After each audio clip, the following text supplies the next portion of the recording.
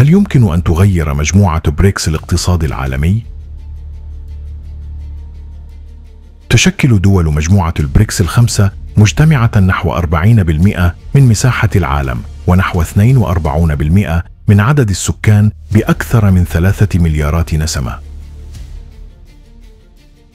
لدى تلك الدول أيضا ثقلا اقتصاديا لا يستهان به فقد بلغت حصة بريكس من الناتج الإجمالي العالمي نحو 37% بما يزيد عن 60 تريليون دولار لتتفوق على التكتل الغربي المنافس لها والمعروف باسم مجموعة السبع الكبار والذي لم تتجاوز حصته 30% من الناتج العالمي.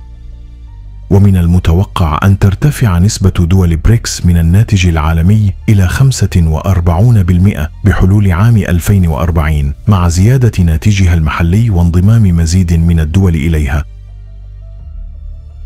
بريكس التي بدأت بخمسة دول هي الصين وروسيا والهند والبرازيل وجنوب إفريقيا توسعت وضمت إليها دولا جديدة من بينها أكبر اقتصادات المنطقة العربية مثل مصر والإمارات لتحمل المجموعة اسما جديدا هو بريكس بلس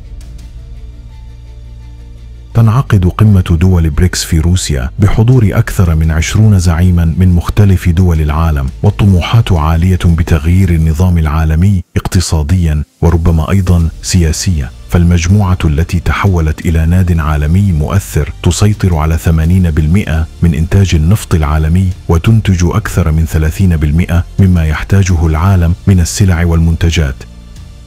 وتتحكم في أكثر من 50% من الاحتياطي العالمي من النقد والذهب.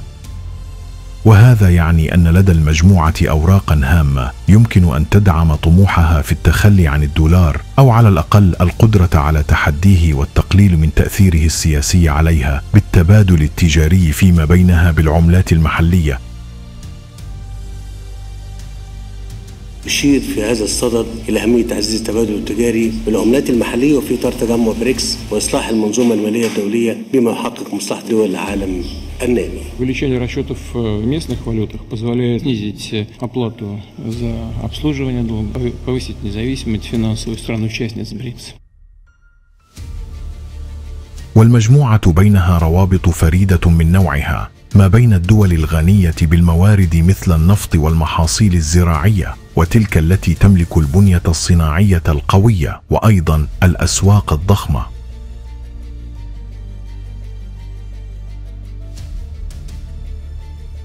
وأنشأت أيضا بنك التنمية الجديد المنافس للبنك الدولي برأس مال 100 مليار دولار حيث يمكن للأعضاء إقراض بعضهم البعض في حالات الطوارئ. سيقود إذن الصعود السريع لمجموعة دول بريكس إلى تغيير الاقتصاد العالمي ولو على المدى البعيد. لهذا كان الحضور العربي في التحالف الاقتصادي الكبير رهان على المستقبل حيث العالم أكثر تنوعا. انضمت الإمارات إلى بريكس بثقلها الاقتصادي كثاني أكبر اقتصاد خليجي عربي. وجاء انضمام الإمارات إلى بريكس كخطوة استراتيجية تهدف إلى تعزيز موقع الدولة كلاعب رئيسي في الاقتصاد العالمي المتعدد الأقطاب وبما يمثل إضافة قوية تعزز التكتل ومستهدفاته الرئيسية. وتسعى الإمارات من خلال عضويتها في هذا التكتل إلى توسيع نطاق تأثيرها الاقتصادي وتعزيز مكانتها كدولة ذات قوة اقتصادية عالميا والوصول إلى المزيد من الأسواق وتوسيع مجالات تنويع اقتصادها. الذي يعتبر من بين الأفضل في الشرق الأوسط.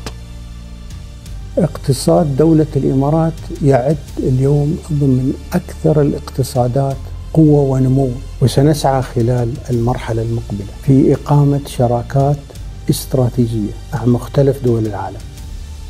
أما مصر فكان انضمامها لبريكس فرصة كبيرة للانفتاح على القوى الاقتصادية الصاعدة في العالم وترسيخ العلاقات معها وفتح مزيد من الأسواق سواء لتوفير احتياجاتها الأساسية وجذب الاستثمارات المباشرة أو التصدير لتلك الدول إضافة للتعاون مع دول التكتل في مجالات التكنولوجيا والطاقة والبنية التحتية. وتتفق سياسات مصر مع استراتيجية بريكس في ضرورة وجود عالم متعدد الأقطاب ومتنوع اقتصاديا يدعم أطرافه بعضهم البعض بدلا من التنافس الذي يعرقل النمو الاقتصادي العالمي. الأزمات المتعاقبة التي عصفت بالعالم أوضحت بما لا يدع مجال للشك عجز النظام الدولي عن التعامل بإنصاف مع الصراعات حول العالم فضلا عن حالة الاستقطاب والانتقائية التي أضحى النظام الدولي يتسم بها مجموعة بريكس تتوسع والرهان على قدرتها في تغيير مستقبل العالم يتزايد خصوصا مع التطورات التي يشهدها العالم والتي تؤكد أن التغيير باتجاه نظام عالمي جديد أصبح ضرورة ملحة أكثر من أي وقت مضى.